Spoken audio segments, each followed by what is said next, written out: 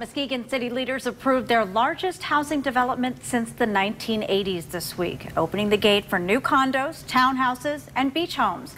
All new tonight, the developer speaks one on one with us, laying out what you can expect as they transform an historic part of Muskegon. We told you about the plans for the Docks residential development last December. The multi million dollar project met some pushback from Beechwood Bluffton residents. As Marvis Herring reports, that did not block approval. Marvis? And the Sand Products Corporation did make some changes before Muskegon City Commissioners approved the final plan. It's the former site of Pigeon Hill, but the developer says it sat idle since mining stopped there in 1965, and it was time to change that.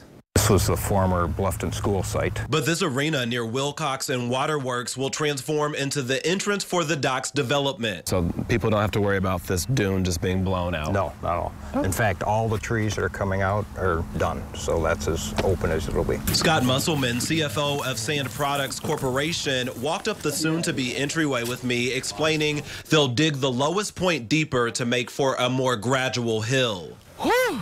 Once at the top, he explained the newly approved plan. The biggest change was the way we're connecting our marina basin to the water. You'll find the marina basin on the south end, 65 townhomes surrounding that. There's 30 condos up for grabs and 145 lots open for anyone to build, though SPC has to approve each design, big or small. The water will come all the way back to about this low point out here where you see the green grass growing. There's no shortage of natural beauty out here. Even this massive pile of branches adds some character to the space. We've learned about 25% of this entire property will remain untouched. What about the natural space?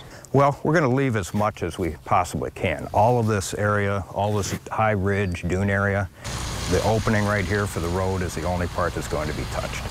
So in total, out of the 80 acres, approximately 23 are not going to be developed.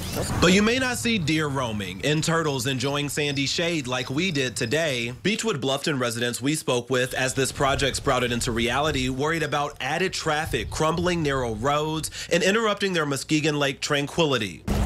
Musselman says it was a small group making a big splash of noise, but they don't have to worry. Uh, obviously, 240 homes is going to add additional traffic. What the study says is the roads are capable of handling it.